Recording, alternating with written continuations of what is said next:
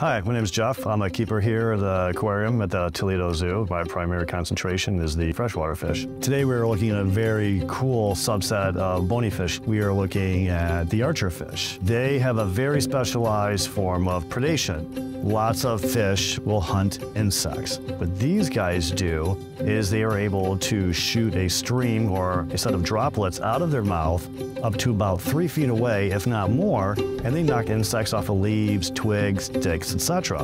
And then when the insect falls in the water, then the archerfish eats it.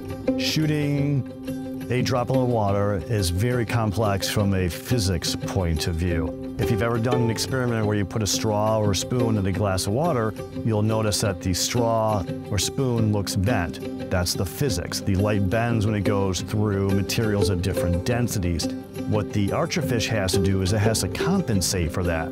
So where it sees the insect on the stick, that's not physically actually where the archerfish is, but its neurons know how to compensate and it shoots at a different direction. And through a series of trial and error when the fish is young, the neurons learn what the system is, and then they are able to be very accurate with the projectile.